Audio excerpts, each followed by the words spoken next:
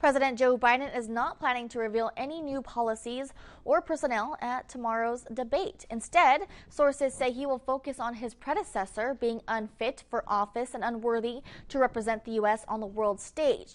This is a shift from Biden's primary debates during the last election cycle.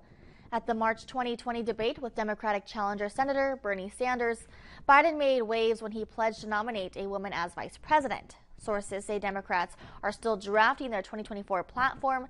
It's possible Biden could focus on policies and personnel during later debates. A second debate is scheduled for September when voters may be more dialed into the issues.